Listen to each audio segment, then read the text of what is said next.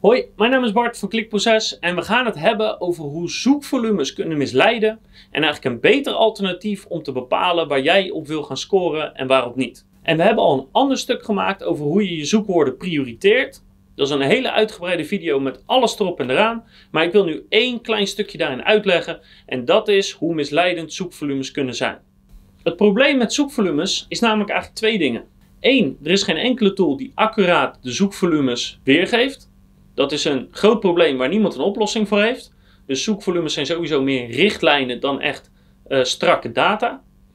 Maar twee is dat het zoekvolume aan zich niks zegt over hoeveel mensen daadwerkelijk doorklikken op een resultaat vanuit die zoekopdracht. En laten we eerlijk zijn, als iemand ergens op googelt, maar hij klikt helemaal niet in de zoekresultaten, dan is dat natuurlijk waardeloos. Daar heb je als bedrijf niks aan, want daar kan je niks aan verdienen. Maar waarom zouden mensen dat dan doen? Hè? Wanneer doen ze dat dan? Dat ze ergens op googlen en dan vervolgens niet klikken. Nou, een van de meest voorkomende is dat ze de spelling van een woord controleren.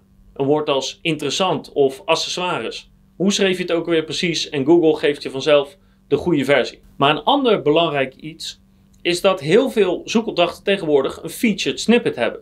Dus een featured snippet is een stukje informatie die eigenlijk al in elk geval een beetje of helemaal antwoord geeft op de vraag. En er zijn verschillende soorten featured snippets en verschillende antwoorden die je kan krijgen. Dus ik ga ze niet allemaal doornemen.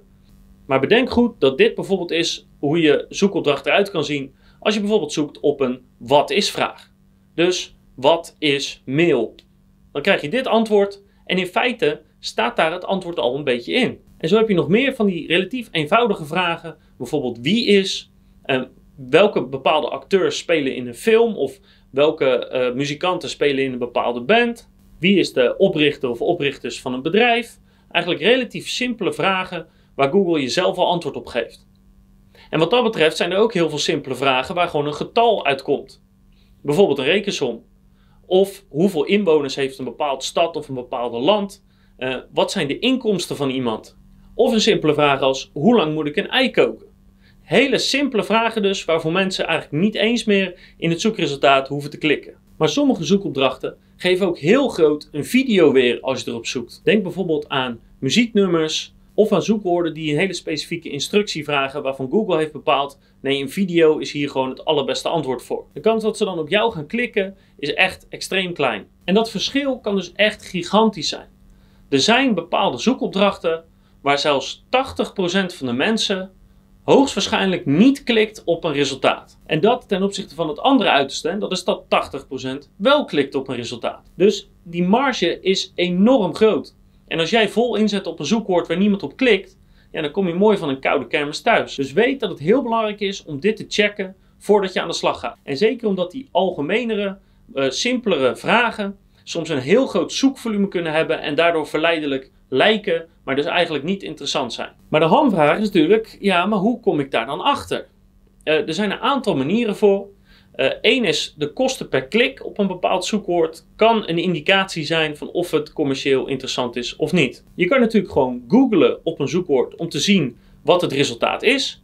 En als je zo'n featured snippet ziet of als je een stukje antwoord ziet, dan kan je je afvragen hoe interessant dat zoekwoord voor je is. En soms kan het juist alleen maar interessanter zijn, omdat het een complexere vraag is waar mensen wel een stukje van het antwoord zien, maar nog altijd moeten klikken om het hele antwoord te krijgen. En soms is het daardoor totaal niet interessant. Maar het allerbeste is als je een bepaalde tool hebt die dat eigenlijk al voor je berekent. Wij gebruiken veel Ahrefs en je kan hier een voorbeeld zien. Als je een zoekwoord intikt, geeft hij aan, wordt er veel in de zoekresultaten geklikt of niet? En hij maakt er een schatting van hoeveel dat dan is. Maar Moz doet ongeveer hetzelfde en zo zijn er wel meer betaalde tools. En die kunnen jullie heel goed inzicht geven in of een zoekwoord dus commercieel interessant is of niet. Dus als je bezig bent met zoekwoorden, sta je dus alsjeblieft niet blind op zoekvolumes, maar pak eigenlijk het zoekvolume en doe dat maal het aantal mensen dat daadwerkelijk klikt in de zoekresultaten. En met dat zoekvolume, eigenlijk het verbeterde zoekvolume of het klikvolume, daar heb je wel wat aan. En daarop kan je wel iets baseren. En neem dat ook mee in je zoekwoorden prioriteitenschema. Ik hoop dat je hier wat aan hebt gehad. Als je nog vragen hebt, kan je me altijd mailen op bart.klikproces.nl of een reactie achterlaten op een YouTube filmpje of op ons blog. En anders spreek je graag de volgende keer weer met nog veel meer advies over SEO, over YouTube, over voice en over conversieoptimalisatie.